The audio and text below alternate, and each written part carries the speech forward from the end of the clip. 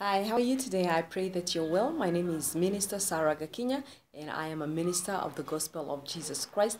And I am just happy to be in the Lord today. Today, I'm being inspired by the word of the Lord from the book of John, chapter 9, verse 12, whereby Jesus was passing with his disciples. You know, everywhere Jesus went, he did something good. Whenever Jesus passed by, he did not leave the people the same. He always made a difference in their lives. Everywhere Jesus passed, he did not leave people the same. He made a difference. Jesus passed and somebody would receive their healing. Where Jesus passed, there would be deliverance going on. Wherever Jesus passed, he gave people food, he gave them nourishment, spiritual nourishment, and he gave them nourishment for their bodies. Wherever Jesus went, there was a spirit of multiplication and abundance following him and manifesting among the people. Wherever Jesus passed, he forgave sin. He changed the atmosphere. Where there was sadness, Jesus brought joy and peace. Where there was death,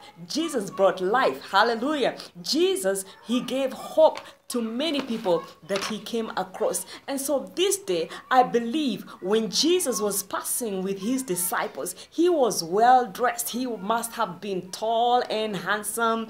And uh, most of us believe he had long hair and Whatever the case, whatever you believe, Jesus must be really good looking. So today he was passing. This day he was passing by, and uh, he must be. He must have been, you know, happy as usual and ready to meet the people as usual and ready to make a difference among the people. Now Jesus was passing, and in all his glory, in all his prestige, he is as prestigious as a king as he is passing on this street today.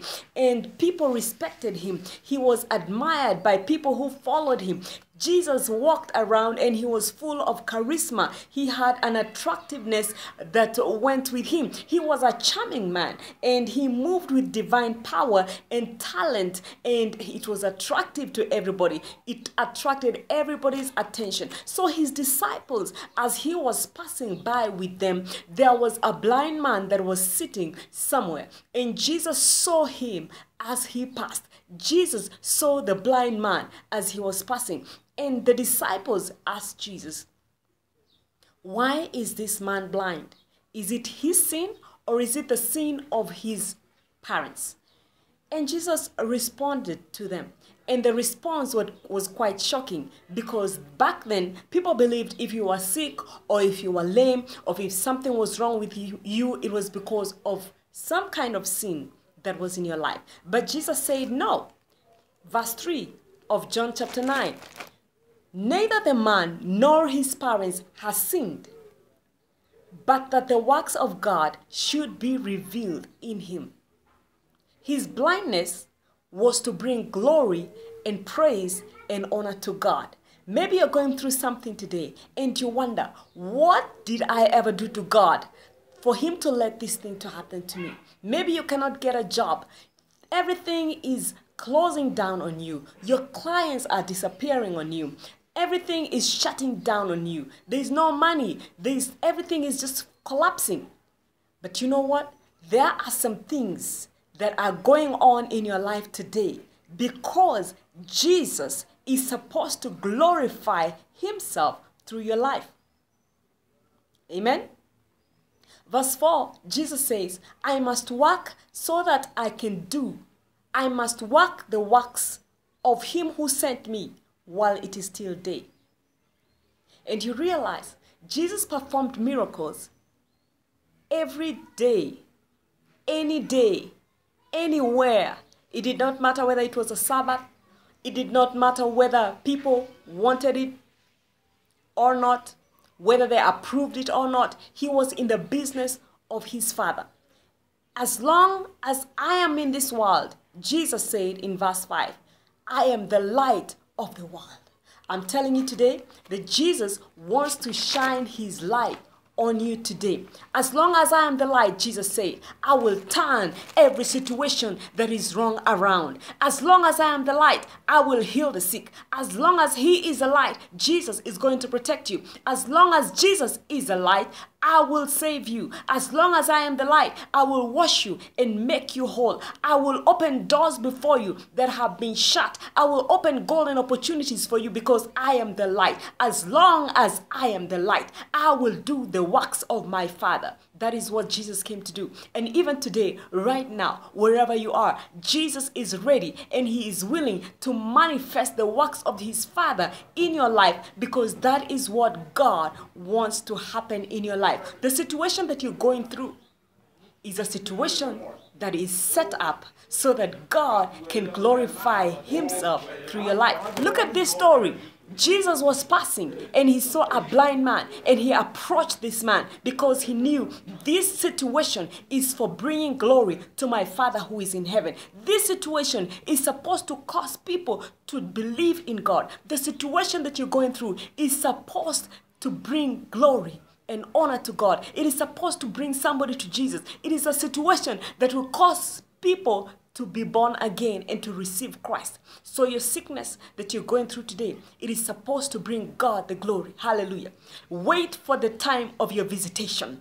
Your time of your visitation is coming. And as this man was sitting right there, his time of visitation came. Jesus was passing by in all glory, in all beauty, in all splendor. And as he was passing, he saw this man. I want you to know that Jesus is seeing you. Jesus can see you right where you are. But you must wait for your time of visitation. You might must wait for that time where the anointing will be stirred. And when the anointing is stirred, you get to receive your miracle. Hallelujah. And so Jesus was stirred. The anointing was stirred from within him. And he approached this man and he spat. Jesus spat on the ground and he made clay with his hands and applied the clay.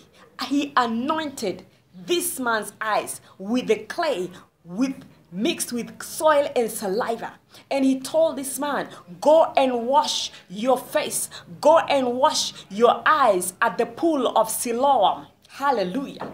I'm telling you, this man was blind, but he did not say, I cannot see. I cannot make my way to the pool because I cannot see. Instantly, this man rose up and made his way to the pool and came back seeing. He came back with a restored sight. It doesn't matter what you're going through today.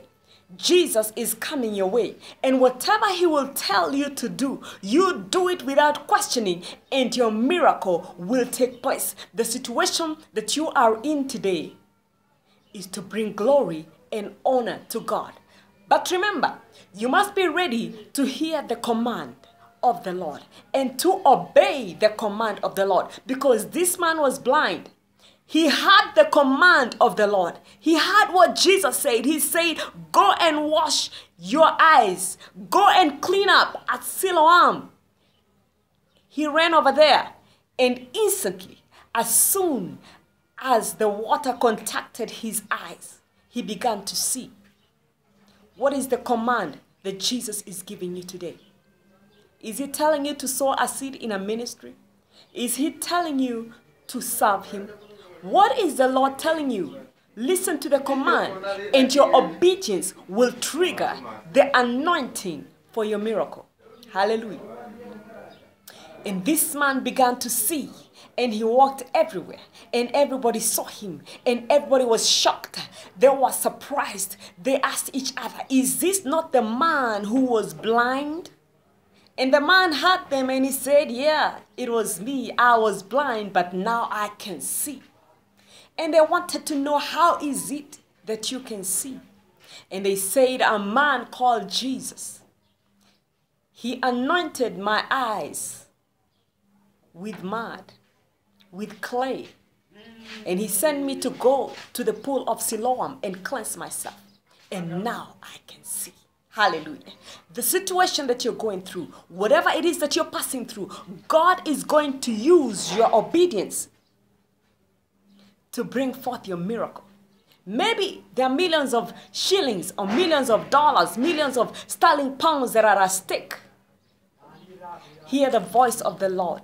If you know Jesus, ask Jesus, Lord, what is it that you want me to do so that I may break through into my victory? God bless you so much. I'm from a ministry called Sarah's House, Kenya, and I am a minister of the gospel. I thank you. You have been listening to my messages and responding to me. Some of you have given me your support. You surprised me and you gave me something to eat. You gave me something to drink. I thank you so much. And I say, God bless you so much. And I appreciate the fact that you acknowledge that I am a servant of God. And what I give to you is spiritual.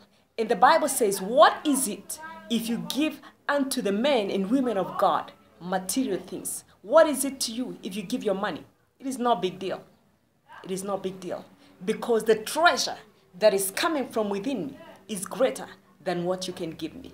Hallelujah. May the Lord bless you. Those who are sick in your body, those who have situations that are beyond human comprehension, those who have situations that are beyond human solutions. Jesus is here right now. He's passing and He's willing to do something for you. I pray that you may listen to the voice of God in your heart, deep down in your heart, and hear what God is telling you to do. For every miracle, there is obedience required. The man was sitting there blind, frustrated. He did not know what to do. He had probably gone to every witch doctor that he knew. He had probably gone to each and every doctor that he knew. He probably had spent all his family wealth trying to get his eyes to see. But all he needed all along was obedience. Obey as the Lord sent you. If he sends you to me, come running in a hurry. If he sends you to the church, wherever he sends you, go and do it and see the breakthrough and the greatness of God manifesting in your life. God bless you so much. And remember to tune in to my Facebook channel, to my YouTube channel as well at Sarah Gakinya, and listen to all the messages. And they will bless you and lift you to the glory of God. Remember to share. Remember also to subscribe. God bless you so much.